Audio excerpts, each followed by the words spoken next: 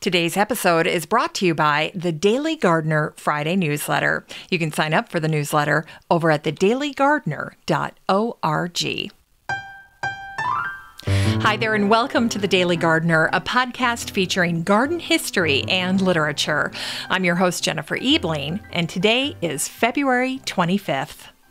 Today in garden history, we celebrate the birthday of Anna Gilman Hill, the director of the Garden Club of America for six years between 1920 and 1926, and the assistant editor of the club's bulletin for many decades. Anna was born on this day, February 25th, in 1872. Anna and her husband owned an estate in East Hampton that became quite famous. It was called Grey Gardens, and it was purchased by the American socialite Edith Bouvier Beale. Anna once wrote these words Above all, in your absence, do not allow the children, the ignorant visitor, your husband, or your maiden aunt to play the hose on your poor, defenseless plants. Great advice.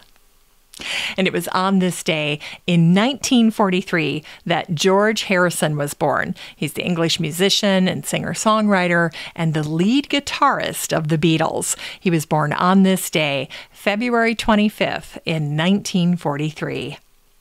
George's original song compositions include While My Guitar Gently Weeps and Here Comes the Sun. Sometimes George is referred to as the quiet Beatle. He did relish his life out of the spotlight, and he once said, I'm not really a career person. I'm a gardener, basically. Sometimes I feel like I'm actually on the wrong planet. It's great when I'm in my garden, but the minute I go out the gate, I think, what the hell am I doing here? And it was on this day in 1989 that the Age New paper out of Melbourne, Australia, ran a story about a brand new play that was written by Suzanne Spunner called Edna for the Garden. And as you might have guessed, the play was all about the charismatic Australian gardener, designer, conservationist, and writer Edna Walling. During her lifetime, her garden design clients would say to their friends, You must have Edna for the garden.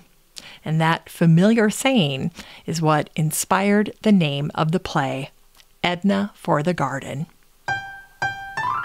It's time to grow that garden library with today's book, Secret Gardeners by Victoria Summerley. This book came out in late 2017, and the subtitle is Britain's Creatives Reveal Their Private Sanctuaries. This book features the private gardens, the secret gardens of some of Britain's most famous artists. In all, 25 gardens are featured in this drop dead gorgeous book. You'll see the gardens of Andrew Lloyd Webber, Anish Kapoor, Jeremy Irons, Cath Kidston, Ozzy Osbourne, Sting, Julian Fellowes, and Rupert Everett, just to name a few. Now, for the most part, these private sanctuaries, these great spaces, are not for public consumption. So without Victoria and Hugo's book, these gardens would remain hidden. They would remain secret gardens.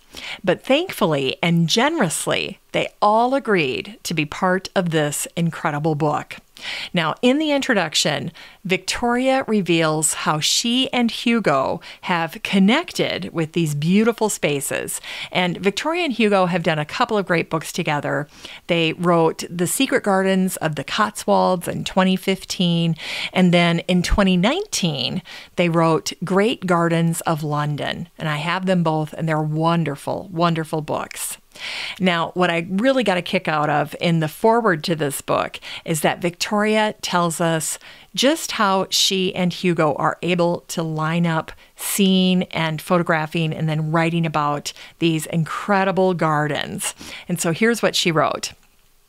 She writes When planning this book, Hugo Rittson Thomas and I did not set out to feature famous people who had a lovely garden. Our original concept was a book on artists' gardens, looking at how those who had some training or background in the visual arts organize their outdoor spaces. Great idea. We were all very enthusiastic about the idea, but then realized that it might have a broader appeal if we included people who were involved in performance arts as well. I'm often asked how I choose the garden for my books, and the answer is that I don't. Hugo does. I have a power of veto, but Hugo is the one who persuades people to open their gates and let us in. How he does this, I have no idea. I am firmly of the belief that Hugo could persuade St. Peter to open the gates of heaven if our publisher decided to commission a book on the Garden of Eden. Isn't that a funny story? Well, Hugo and Victoria do make a lovely garden book team. Hugo's indelible images transport us to these wonderful spaces, and they also give all of these books amazing covers. And Victoria helps us appreciate these gardens on a much deeper level than we otherwise would without her lovely commentary. So when you pick up a Victoria Summerley, Hugo Rittson Thomas book, you know it's going to be beautiful. You know that the gardens will be world class. And you know that you're buying a book that is not for the bookshelf. I always say that to someone if I give them one of these books because these books are way too pretty for that. They're too pretty to be on the bookshelf. The, these are books, and this is a book that is set out so that when you walk by, you're tempted to stop and read it. Or when someone visits your home, they see that beautiful book and they fall in love. This book is 272 pages of gorgeous, sublime, unforgettable, imaginative secret gardens that are sure to knock your socks off. You can get a copy of Secret Gardeners by Victoria Summerley and support the show using the Amazon link in today's show notes for around $30. All right, we're going to end today's show with a botanic spark that features Olive Mary Edmundson Harrisson. She was born on this day, February 25th, in 1881, and she was a British horticulturist. In 1898, Olive was the top student at Swanley Horticultural College, and she placed first on her exams with 285 points. By rights, she should have earned a spot at the RHS Garden in Chiswick, 5,000 pounds, and a scholarship. But Olive was born just a bit too early because the RHS declined to recognize Olive's accomplishment since they were still an all male institution. Now, in looking at the test scores, and anyone can look up these test scores, you can see that women made up 10 of the top 25 test scores back in 1898. So, by my calculation, two Marys, three Ethels, one Jessie, a Lillian, a Eunice, and an Ada would not have been able to work at the RHS either. Olive's story was uncovered by a researcher at the RHS Lindley Library, and then it was picked up by the BBC, and that media attention led to a connection with Olive's descendants, and they confirmed that Olive had a lifelong love of gardening, and it was great to hear about. Well, you might be wondering what happened to Olive. After her exam, she did eventually find work as a gardener. In 1901, she ended up working for the Cadbury family. The Cadburys loved their gardens and Easter. But once Olive got married in 1904, she stayed home to raise her family. Olive died in Seattle. She'd gone to live near her daughter back in 1972. Well, that's it for today's show. Just remember that you have a standing invitation to join the free Facebook group for listeners of the show.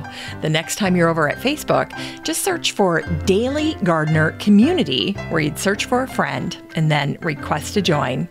And if you'd like more of The Daily Gardener, you can subscribe to the newsletter over at thedailygardener.org. And don't forget that you can also show your support for the show by using the Buy Me a Coffee link over at the website or in today's show notes. This is Jennifer Ebling. Thanks for listening to The Daily Gardener. And remember, for a happy, healthy life, garden every day.